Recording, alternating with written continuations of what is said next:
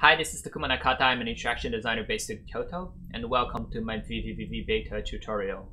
Um, today, I'm gonna talk about bullet, bullet physics. But before that, uh, there's one thing that I was missing from my previous tutorial, so I want to uh, uh, share that one first, and then I'll get into my tutorial for today.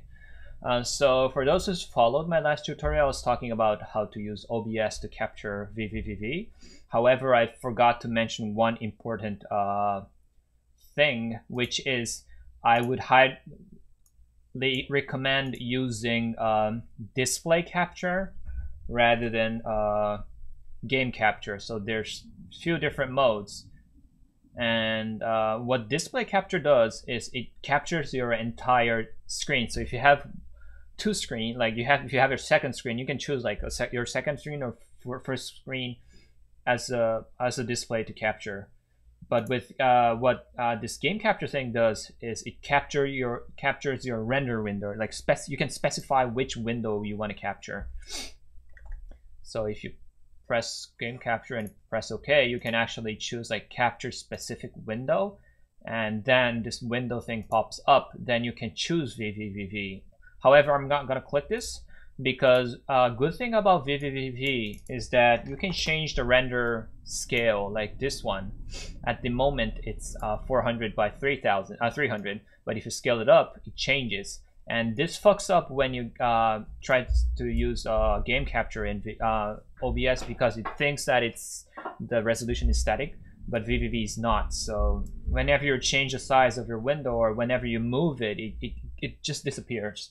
And also, if you have a few different previews, then it starts like messing it up. Like which one are you mentioned and which one do you mean and things like that. But if you use the window capture, a display capture, um, that kind of thing doesn't happen. It's just your it's it's capturing your entire window. So by this, uh, so if you have two different monitors, you can use one for patching and you can just full screen on the second one and start capturing. And if you only have one screen, uh, that's the reason why I mentioned using shortcut in OBS because even though you have uh, your render window full screen on your main monitor, you can still use a shortcut function in OBS to, to let it start capturing. So yeah, that was what I forgot to mention last time. And yep, so I'm gonna delete this one and then I'm gonna start today's tutorial. Okay, so today's tutorial about is about bullet physics and uh, I've been uh, recently I've been playing quite a lot with this. I'm trying to I was trying to figure out um, how I can share my knowledge, and I had this really nice tutorial uh, workshop at Node 15. I think that was on 2015, and it was really great. Uh, a lot learned. I thought it was really powerful, but in the other hand, other hand, it's a bit the way you it, it works is a bit different than like how you usually work with VVVV. So I was kind of like, okay, I'm interested, but I don't know when, like, how to work on it. And it's, it's like, you know, it didn't make me feel like I should start, but I knew that it was super strong. So I decided to start working on it and realize how strong it is. So I decided to share it.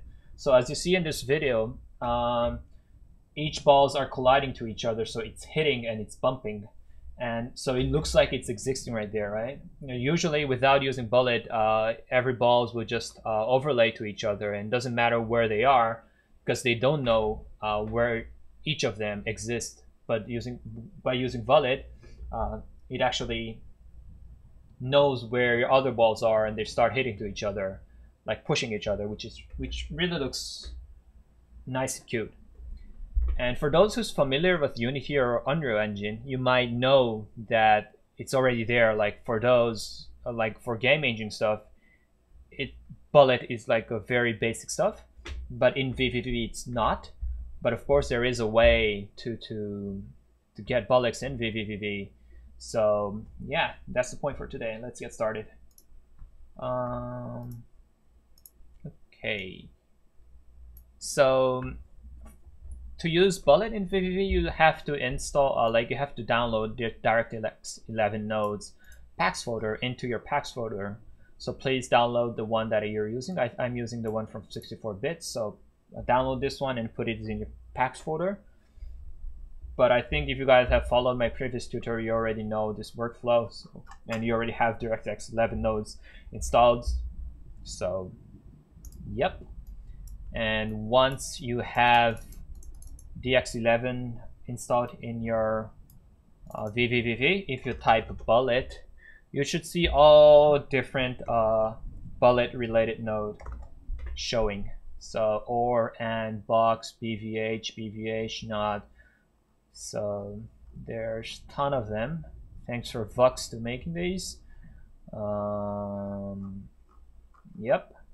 And also, uh, if you right click on this uh, search window, it also has this really nice cat browse by category function, which then you can say, okay, I'm looking for something related to bullet. Then you, if you just open it up, it shows all the related nodes. This is very handy. I didn't know this until today.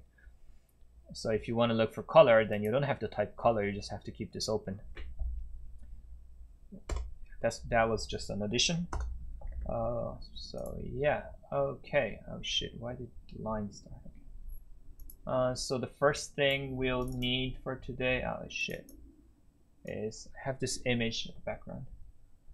Uh, so that I don't forget. So first thing we'll need is rigid world. World. So this is the very first node that will you'll need uh, while using Bullet. And what it does, it creates the world. So in default, VVV's world doesn't have gravity. It doesn't have, it does have time step. Uh, but it doesn't have this like physics things. But if you enable this, um, you can start playing with bullet already. So in default, gravity is set in default, so I just keep it like that. Um, rearrange this. And then this one is reset, but I don't have to reset yet. Uh, so enable is on. Iteration is about like sort of like resolution, like preciseness of collider. I'll just set it to default. Time step is, uh, how do you say? Uh, it's the time step of your simulation. So this one I'll set it to, so this one is the divide node, val divide value. And then I usually work in 60 frame. So I'll divide one with 60 and then this will be my time step. And okay, so now we can start uh, working on it already. Uh, so what should I do first? Um, Okay, so now I have the world set. Now and uh, then what I'll do is I'll start creating uh, bodies. I'll use create dynamic body. And what it is, so at the moment the world is set, but there's no object, right? So I need to start uh, creating an object. So I'll create a box and box bullet. This one also has to be bullet and then this one says initial pose so I'll set there's the node called pose join. So I'll set this one here and this one is the default position. So I'll just set it to 2 y axis 2 and then uh, yeah this is basically it. And then this one says world. What you have to do is you have to connect uh, so this you know as you know VV doesn't connect things remotely so you have to make sure that this dynamic body is connected to the world. So you connect these two. And then, oh no. Uh, yeah, this is okay. So once I press this, um, yeah, it should start creating. Uh, uh, let's see how that works. Uh, so now I'll have this node called debug draw. What it does is it it shows the output from what, what's already generated in the world. So rigid, I'll connect this one to rigid world. Uh, I'll connect rigid world to debug draw, and then I'll connect re, uh, debug draw to the render. And then enable debug draw mode. And I also have an axis and grid, just to make sure I know where the ground is. Group node. Okay. So now I should have everything set. Uh, oh, I forgot to set the camera. not this one. I'll I usually use this one. Uh, transform orbit camera. So I just open this one up and then connect it here. And then I'll make a latitude a bit higher and then distance to 4. Hey, you saw it? There was a ball falling down. Where did it come from? Yeah, there you go. See? So I now have a I have one ball falling down. But it's going all the way down because I don't have a floor. So now I need to create a static body. So create static body and then I'll just use the bullet rigid and then I'll connect I'll connect the plane to here. And this one is also plane bullet. So every single thing that's connected to bullet has to be something uh, related to bullet. So you can't just connect like normal grid or normal box. And then again I'll make this inside the rigid world. So I can I'll connect this one and this one. And then let's see how it goes. Okay did you see it? So now I'll set this height to 3. So now I have a box and then it's hitting the floor. So the floor floor is at the ground. Uh, no, this one is normal, so I don't need this one. It's at the ground level, so as you see, the box just hit the floor. And did you see it? It was bouncing like boom, boom, boom, boom, boom. So this is this is what happens with your use bullet. Right now I only have one box and the reason is because this one says it's to create, but I'm resetting this reset resets the entire rigid world thing. And with dynamic body, you don't have to reset everything. You can actually make one single bang here and what it does is as much as you press you can let it like generate new box so now I have I can keep generating a bunch of boxes. Just be careful if you create it, uh, if you make too many boxes, it crashes. So make sure you reset it. Yeah, this is what happens. So what if I change this one to sphere bullet? So there's sphere bullet. So if I choose this one, it's already connected. And I'll reset everything and then now it's a sphere, it's not a box. You see it? This is nice. So if I um, yeah, so now I have different spheres on top of spheres. I don't know why it's uh, on top of each other, but I think we can start seeing if spheres are actually uh, colliding because now it only looks like it's it's on top of each other. Spheres should like roll so I'll what I'll do is I'll make a random uh, spread of a position. Uh, no, random. And then I'll set this random spread and I'll just set this one to 3 times 10. I want 10 spheres, so that should be 30. And then I'll connect this one to this position. And I'll reset everything and turn it on.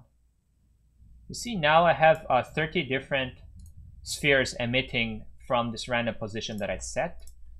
So every time I click this, it emits from the position, but if there's a sphere on the, at that position, it's colliding to each other and it's hitting, which looks really, really nice already. Um, so yeah, this is the basic. Now I'll start creating something different. So I, I made a create static body and I made a plane, but I make I want to make another one. Uh, so I'll just copy paste this one and then I'll put a sphere here, sphere bullet, and then I'll make this one a bit bigger. And let's see what happens. Oh, and then I want to add some position to it. Uh, lower and then I'll add y-axis here so I'll just do plus and then 30 one uh, now that plus 3 so it should start uh, it should the, the starting position of each ball should be like three something above. See? Now I have one static sphere in the middle and there's a, there's a plane also, also like on the floor. So when I let the balls emit, it starts from three position, but then it start falling because there's gravity. And then it hits the static ball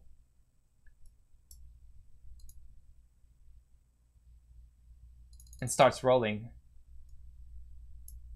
So if you, for example, uh, set uh, pose for this static body, and then, for example, let's say I, I want to create linear spread, and then I have three spheres, and then vector 3D join. So in x-axis, I'll make three different sphere. No, this is too big, so I'll make this one smaller.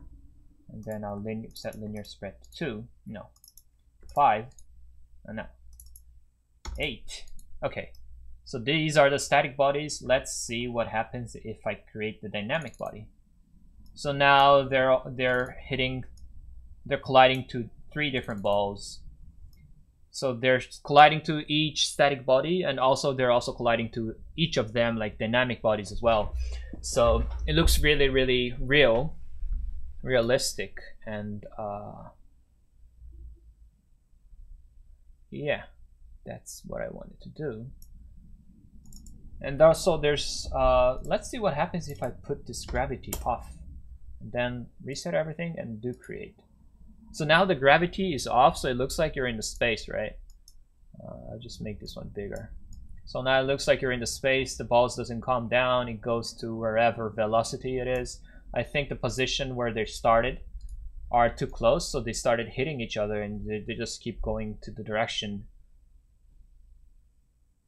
Which looks really nice. So if I put this gravity like minus 8, which is quite high, then as you just saw, it starts going down.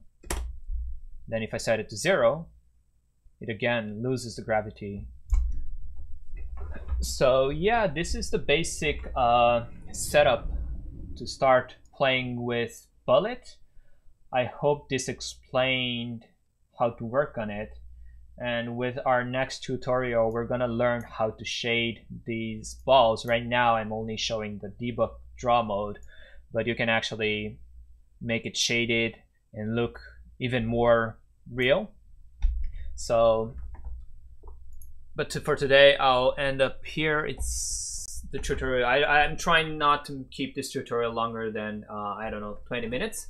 So this was all for today. With next tutorial, we're going to be talking about how to shade this stuff and also how to play a bit with gravity and things like that. So yeah, thanks for watching. See you next time.